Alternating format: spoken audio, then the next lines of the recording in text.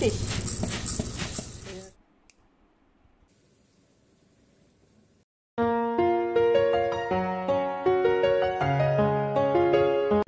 Good morning কেমন আছো তোমরা সবাই? আশা করি সবাই খুব ভালো আছো, সুস্থ আছো। আমিও ঠিকঠাক আছি। সোমালিস ব্লগে আবার একটা ফ্রেশ ফ্রেশ ব্লগে তোমাদের সবাইকে ওয়েলকাম আমি সোমালি, আমার সমস্ত পুরনো বন্ধুদের অনেক অনেক ধন্যবাদ জানিয়ে এবং নতুন কোনো বন্ধু যদি আজকে ফার্স্ট টাইম আমার ব্লগটা ভিজিট করে থাকো, তাহলে তাকেও অসংখ্য ধন্যবাদ জানিয়ে আজকের ব্লগটা শুরু করলাম। এক ছোট্ট একটা রিকোয়েস্ট রাখছি, কিন্তু যদি ভালো লেগে থাকে তাহলে কিন্তু লাইক কমেন্টটা করতে ভুলবে না। আর চ্যানেলটা যদি সাবস্ক্রাইব না করে থাকো প্লিজ চ্যানেলটা সাবস্ক্রাইব করে নিও। সকালে উঠেই আগে রান্নাঘরটাকে খালি করে নিতে হবে, কেন ছোট্ট একটা কিচেন আমার।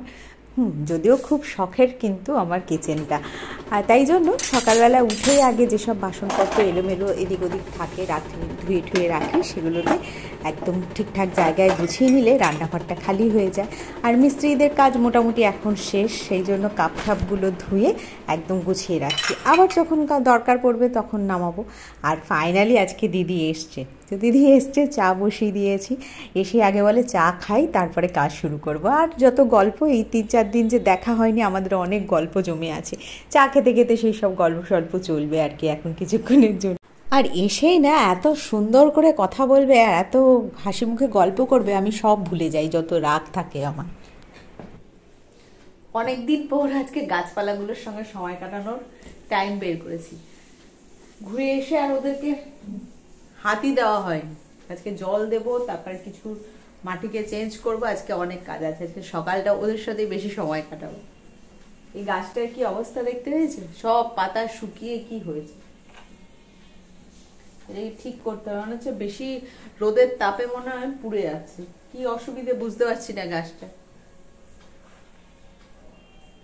এরও দেখো সব পাতাগুলো কেমন হয়ে যাচ্ছে। অত নতুন নতুন পাতা বেরিয়েছে, তারপরও যেন কেমন শুকনো শুকনো লাগছে।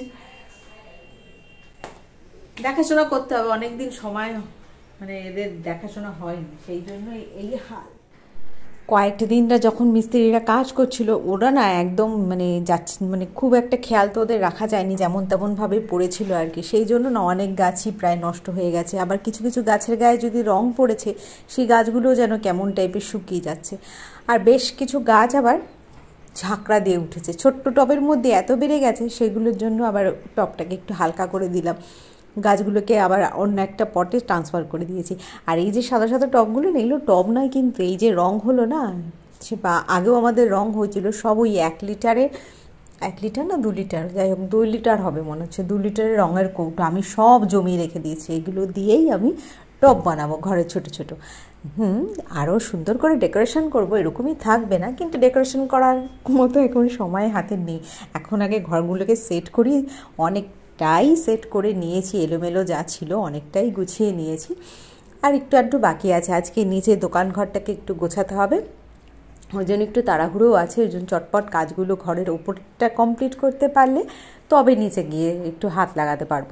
আর এই ওপরের এই আমার যে উইন্ডো গার্ডেনটা আর কি, সেই উইন্ডো গার্ডেনের গাছপালাগুলো দেখেছি এটা পাথরকুচিটা কত বড়? যে কিছু কিছু গাছ খুব সুন্দরভাবে গ্রোথ হচ্ছে, আবার কিছু কিছু গাছ যেন কেমন হয়ে গেছে। আর গাছপালা একটু ঝিমিয়ে গেলে না আমার ভীষণ মন খারাপ হয়।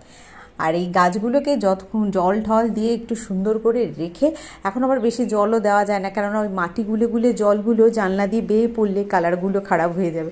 সেই জন্য ভালো করে আবার মুছে নিতে হয়। সমস্যা তো আর যেন শেষ হয় না। চ্যানেলগুলোটা এই জানলাটা চ্যানেলটা যে পরিষ্কার করলাম সেদিন অত খেটে খুঁটে সেটাকেও আবার একটু মুছে নিলাম নাহলে মাটি ঢুকে গেলে আর সহজে পরিষ্কার হতে চাইবে না। কি জ্বালা বলো। একদিনই সকালে ফাঁকি মারা জল খাবার হচ্ছে। আসলে ঘর রং হওয়ার পর সবই এলোমেলো। প্রত্যেক দিনই গোছাতে হচ্ছে আর সকালের টাইমটাই হচ্ছে গোছানোর সব থেকে ভালো সময়। এরপর রান্না বান্না শুরু হয়ে যায় আর এত গরম লাগে আর কোনো কাজ করবার এনার্জিটুকুই থাকে না। ওই জন্য সকালবেলার টাইমটা সব ছাড়া মোছা, ধোয়া, পোছা যা যা আছে সকালের দিকে তাড়াহুড়ো করে সেরে ফেলি। তারপর যাই রান্নাবান্না। হ্যাঁ তার ফাঁকে ফাঁকেও রান্নাবান্না চলতে থাকে, যেমন বসিয়ে এসছি, ডাল সিদ্ধ বসিয়ে এসে আজকে ডিম করব, ডিম সিদ্ধ বসিয়ে এসছি। তারপর দেখা যাক কী হয়। তার ফাঁকে একটু খাওয়া দাওয়াটাও সেরে নিতে হবে। গরমকালে এই আম দিয়ে মুড়ি দিয়ে দুধ ভালো লাগে না। আমার দুধের সাথে আম খেতে আমার খুব একটা ভালো লাগে না, কিন্তু আম দিয়ে মুড়ি দিয়ে খেতে ভালো আম ভালো লাগে খেতে, কিন্তু খুব বেশি ভালো লাগে না। আবার একটা না পর পর অনেক দিন খেলে তখন আর খাওয়ার ইন্টারেস্ট থাকে না। আর ফ্রিজে রেখে ঠান্ডা ঠান্ডা আম খেতে সব থেকে বেশি ভালো লাগে। কালকে যে আমগুলো ধুয়ে রেখেছিলাম, আজকে সকালবেলা সব ফ্রিজে ঢুকিয়ে দিয়েছি।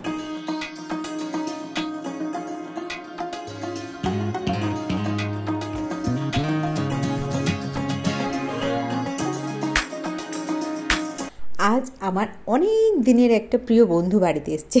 প্রিয় বন্ধু এই যে, একে বলছি। বন্ধু নয় বলো, যে আমাকে অসময়ে সহযোগিতা করে, সেই তো সব থেকে ভালো বন্ধু হয়, তাই না? যেমন হচ্ছে এই যে চ্যানেল পরিষ্কার করার ব্রাশটা আমি অনেক দিন ধরে অনলাইনে সার্চ করেছিলাম জিনিসটাকে, কিন্তু নেওয়া হচ্ছিল না, সুযোগ হচ্ছিল না। আজ ফাইনালি এটা আমার এসে পৌঁছে গেছে। তো আজকে দেখো কত সুন্দর এবং কত কম সময়ে চ্যানেলটাকে পরিষ্কার করে দিচ্ছে। এখন না দেখো, কাজের পরিমাণ অনেক বেশি, হাতে আমাদের সময় খুব কম। তো ওই জন্য খুব বেশি সময় ইনভেস্ট করে কোনো কাজ করতে গেলে না সেই কাজগুলো বড্ড ডিলেমি হয়। আর আগের দিন আমি জানলাটা পরিষ্কার করেছিলাম, প্রায় আমার ঘন্টাখানিক সময় লেগে গেছিল এই চ্যানেলটা পরিষ্কার করতে। কিন্তু আজকে মানে পনেরো মিনিটের মধ্যে এক একটা রুমের চ্যানেলগুলো আমার খুব সুন্দরভাবে পরিষ্কার হয়ে গেছে। আর কাজ এখন অনেক বেশি যেহেতু সময় কম, তাই জন্য এই ধরনের গ্যাজেটগুলো কিন্তু খুব হেল্পফুল হয় আমাদের দৈনন্দিন জীবনের জন্য। আর স্নান টান কমপ্লিট করে তাড়াতাড়ি চলে এসেছি রান্নার কাজে। রান্নাবান্নায় আজকে ঢ্যাঁড়স ভাপা আর ডিমের কারি এরকম টাইপেরই হালকা পাতলা রান্না। রান্নাঘরে না দাঁড়াতে ইচ্ছে করছে না। মানে স্নান করে এসেও যেন দরদর করে ঘেমে যাচ্ছি। আমি তো চান্স পেলেই চলে যাচ্ছি পাখার নিচে গিয়ে একটু বসে পড়ছি রান্না করতে করতে। অন্য অন্য দিন আমি কাজ করতে করতে রান্নাঘরেই কাটাকুটি করি। কিন্তু আজকে পাখার নিচে বসে কেটে কুটে গুছিয়ে এনে তারপরে আমি রান্নাঘরে রান্না শুরু করেছি। একসাথে দু, তিনটে জায়গায় বসিয়ে দিয়েছি। মানে কত তাড়াতাড়ি রান্না শেষ করে রান্নাঘর থেকে বেরোবো আর কি সেই চিন্তা।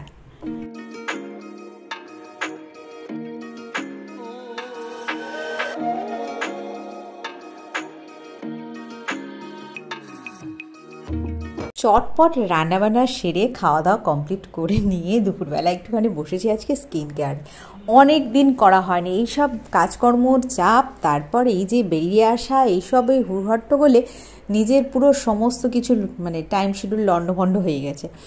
আর ওই জন্য না মানে আমার স্কিনে যেহেতু আমি স্কিন কেয়ার করি স্কিন কেয়ার ঠিকঠাক মতো করি বলে না, একটু এলোমেলো হলেই আমার স্কিনে বিভিন্ন রকমের প্রবলেম শুরু হয়ে যায়। মুখে এত নোংরা হয়ে গেছে, যার জন্য সমানে মুখ চুলকোচ্ছে, আর গরমে এত অতিরিক্ত গরমে কয়েকটা দিন ধরে সারাক্ষণ তো মনে হচ্ছে মুখ থেকে যেন তেল বেরোচ্ছে। তাই জন্য আজকে খুব বেশি সময়ও হাতে নেই। তার মধ্যে থেকেই টেনে টুনে কিছুটা সময় নিজের জন্য বাঁচিয়ে নিয়েছি। মানে ছেলে আজকে বৃহস্পতিবার তো, ছেলের পড়াও আছে, নিয়ে বেরোতে হবে। তো ওই হাতে ঘন্টাখানিক টাইম পেয়েছি, যাই হোক, এই রেস্ট নিতে নিতেই ভাবলাম মুখে একটু প্যাক লাগিয়ে কিছুই ছিল না চিয়া সিডগুলো তো আগেই গুঁড়ো করে রাখা থাকে আমার কাছে, তার মধ্যে জাস্ট একটু গোলাপ জল আর লেবুর রস মিশিয়ে লাগিয়ে নিয়েছিলাম। আর এটা না এত সুন্দর স্কিনটাকে মানে নারিশিং করে, আর স্কিনটা না পুরো টাইট করে দেয়। মানে অ্যান্টি এজিং যাদের মানে শুরু হয়ে গেছে, তো তাদের ক্ষেত্রে কিন্তু এটা একটা বেস্ট ফেস প্যাক চাইলে তোমরা ইউজ করতে পারো। আমি তো খুব ভালো রেজাল্ট পেয়েছি, তাই তোমাদের সাথে শেয়ার করলাম।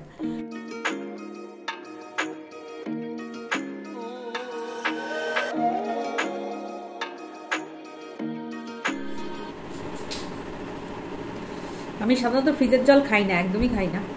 আজকে বাধ্য হয়ে মিশিয়ে নিয়েছি।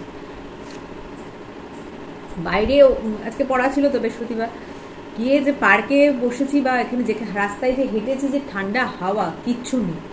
কোথাও শান্তি নেই, পার্কেও যে ফুরফুরে কি সুন্দর হাওয়া থাকে, কিচ্ছু নেই, কি অশান্তি কি অশান্তি। আসার সময় এই যে একটুখানি দুধ আর দই নিয়ে এলাম, এটা গায়ে লাগাতে যেন বেশ ঠান্ডা লাগছে, কি আরাম লাগছে।